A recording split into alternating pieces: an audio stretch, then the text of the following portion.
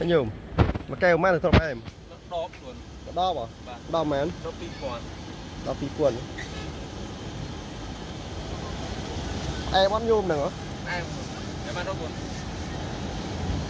để đặt từ một keo bắt mà đặt từ một keo nó đo thôi chứ. Đặt một keo thôi không cả chăn ở lư này. Vậy đặt đặt một keo mát nhiều không keo puan à? Ờ keo puan đặt pi keo không អើកែមពាន់ដាក់2កែមមកឲ្យញោមគាត់បានអឺនេះសាកមើលទៅអានេះអត់មានដាក់អីទេញោមធម្មជាតិទេណា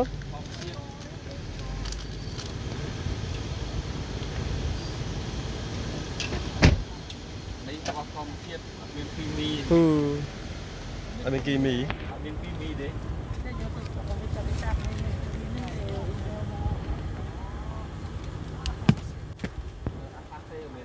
Hmm?